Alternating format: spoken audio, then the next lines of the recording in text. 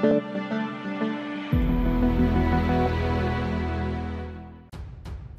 to hard reset Honor 10X Lite. Step 1. At first switch off the mobile by pressing the power button for a couple of seconds. Step 2. After that push volume up and power keys for a few seconds. Step 3. Let go of all buttons if recovery mode shows up. For further detailed guide, please check the link in the description, there you will find further steps on how to hard reset your smartphone. For further detailed guide, please check the link in the description, there you will find further steps on how to hard reset your smartphone. For further detailed guide, please check the link in the description, there you will find further steps on how to hard reset your smartphone.